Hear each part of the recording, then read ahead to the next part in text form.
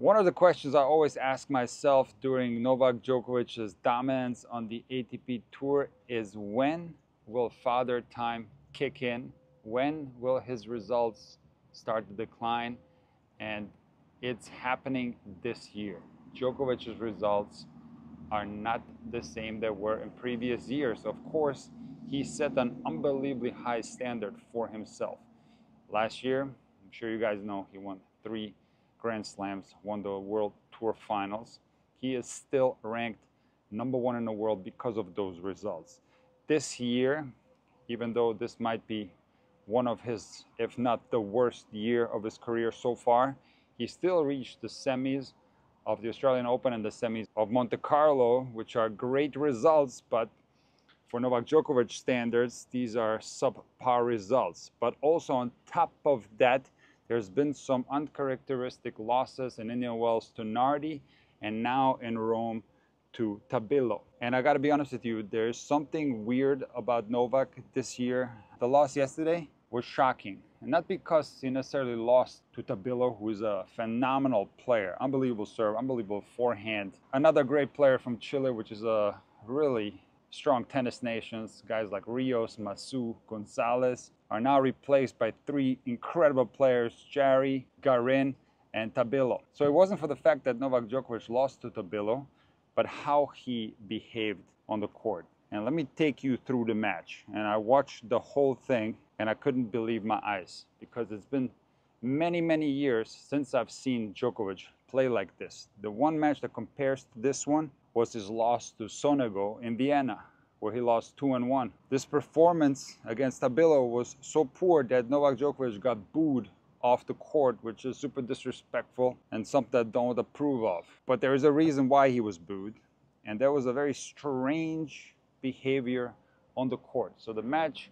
started with Novak Djokovic serving, and he goes down love 40 right away. He saves two break points, and then on 30-40, there's a long rally and Novak Djokovic attempts a drop shot from way behind the baseline, which he spectacularly makes. But I thought this is a low percentage risky play from Novak down break point. I didn't perceive this as a positive point. He then loses his serve and proceeds to play strange tennis, attempting a tremendous amount of drop shots from very bad positions on the court. He doesn't appear to have control on his ground strokes. He's making mistakes and missing by a lot, especially with his forehand. The thing that made absolutely no sense was the fact that he was ripping second serves and he committed a lot of double faults. For example, after losing the first set 6-2, in the first game of the second set, it's 30 all, Djokovic hits two wild second serves in a row, double faults, and gets broken. Even match point down, he's got a second serve, and instead of kicking it in, he rips it long.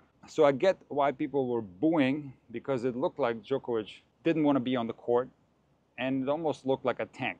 But I examined this match very closely, and to me, it wasn't a tank. Djokovic did try because in that second set, after getting broken, he did try to break back. There was one game where it was down 2-1, where he had 15-30, and he made a positive body language with his racket going like this. So Djokovic was trying to break back, but when he was serving to keep the match one break down, he was playing so careless in those service games. In fact, he wasn't taking any time between points. He was rushing. He wasn't even bouncing the ball like he normally does. This was a shocking performance from Djokovic, mentally speaking. And he is quite lucky that he got three games in that second set. He could have easily lost that second set 6-1. Uh, so there's something going on with Novak. I can't explain it. To me, it's also weird that he pulled out of Miami and Madrid. So it's quite possible that there's a lack of motivation. And I have to talk about the water bottle incident,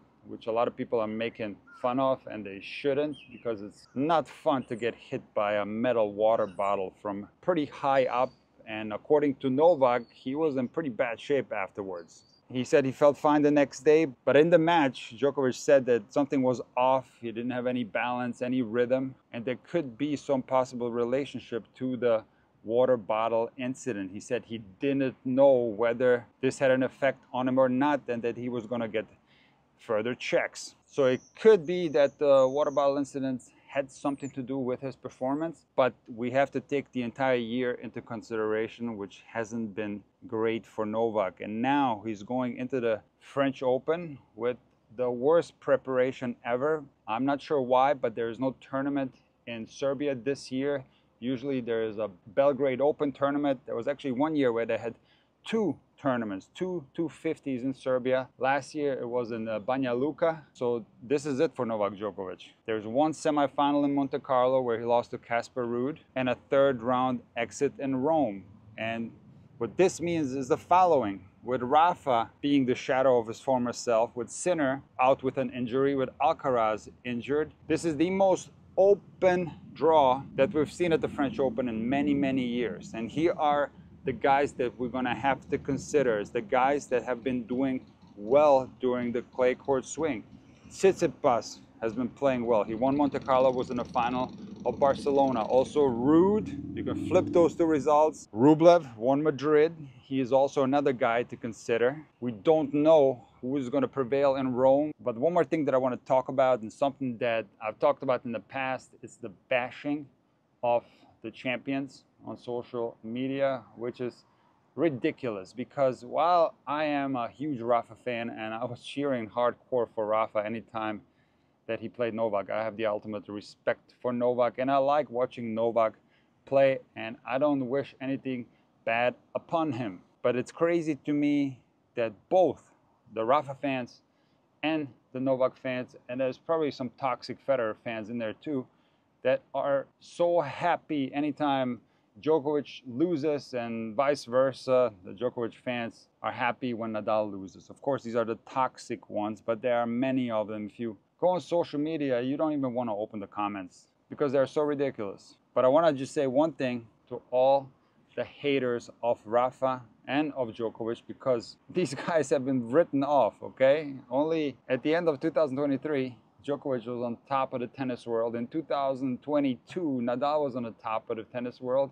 And now it seems like these guys are too old, too slow. The young guys are too good for them. And they have absolutely no chance to win a single tournament in the future. And this is so ridiculous. And you can't ever count out champions. And I'm going to name you some examples that are even more extreme than Novak's case of champions who have made glorious comebacks. Do you remember in 1991 when Jimmy Connors, at the age of 39, made the semifinals at the US Open. Nobody expected him to do that. He was completely written off. Do you remember when Pete Sampras won the US Open? He was completely written off. That year he lost in the second round of Wimbledon to George Bastl. Didn't play well in the warm-up tournaments to the US Open and ended up winning the US Open. And let's not forget Goran Ivanisevic who needed a wild card to get into Wimbledon. Nobody expected Ivanisevic to do anything that particular year, and Goran ends up winning Wimbledon. So one thing that you have to understand is that these guys are champions.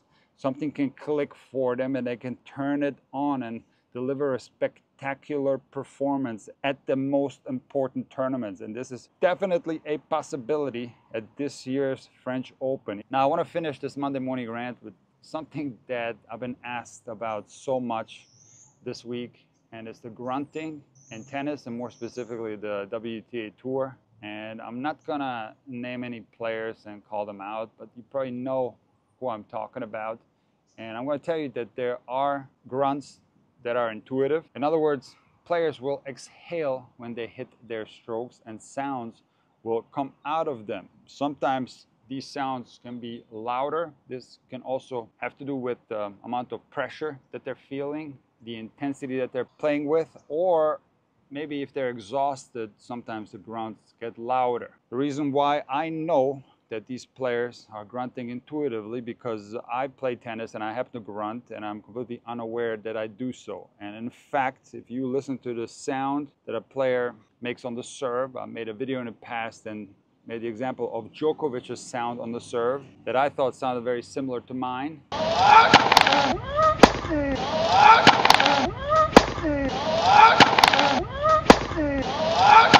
There's absolutely no way that you could recreate this sound. So it is 100% factual that the sound that's coming out of Djokovic on the serve, it is 100% an intuitive grunt. However, and I'm slamming the table because I'm serious about this, there are absolutely players with fake grunts, okay?